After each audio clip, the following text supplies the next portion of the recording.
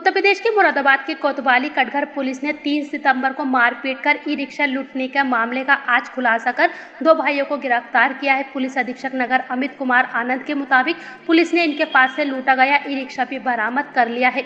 दोनों भाइयों ने पुलिस पूछताछ में बताया कि उनके ऊपर बाज़ार की देनदारी बढ़ गई थी और वे उसे चुकाने में नाकाम थे। आए दिन तकाती करने वालों से परेशान होकर उनके दिमाग में एक आइडिया आया और उन्होंने तीन सितंबर को एक ई रिक्शा मछरिया गाँव तक चलने के लिए चार सौ में बुक कराया। ई रिक्शा बुक कराकर जब ये दोनों भाई सुनसान इलाके में पहुँचे तो इन्होंने ई रिक्शा चालक के साथ मारपीट की और उसे वहीं धक्का देकर उसका ई रिक्शा लेकर फरार हो गए।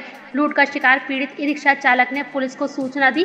पुलिस ने लूट का मामला दर्ज कर अपराधियों की तलाश कर तीन सितंबर को हुई इस घटना का आज खुलासा कर लूट की घटना को अंजाम देने वाले दोनों भाइयों को गिरफ़्तार कर लूटी हुई रिक्शा बरामद कर ली है। तीन सितंबर को थाना कटगर क्षेत्र में शाम के वक्त एक ई रिक्शा लूट की घटना हुई थी।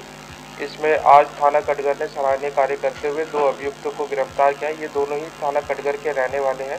इन, इन्होंने पूछताछ में बताया है कि शाम को उन्होंने ये चार सौ रुपये में ये ई रिक्शा हायर किया था, जो मछरिया गाँव जाने के लिए इन्होंने किया था। रास्ते में सुनसान इलाके पर इन्होंने ई रिक्शा को रोककर इसके ड्राइवर के साथ मारपीट करी तथा ई रिक्शा लूट के फरार हो गए।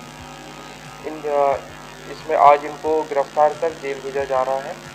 ये आपस में चचेरे चहेरे भाई हैं और इनके पूर्व आपराधिक इतिहास के बारे में जानकारी की जा रही है। अभी तक अन्य कोई अपराध पाया नहीं गया है। इन्होंने जो पूछताछ में बताया है कि इनके ऊपर उधार ज़्यादा था, जिसके चलते उन्होंने ये घटना कारित करी।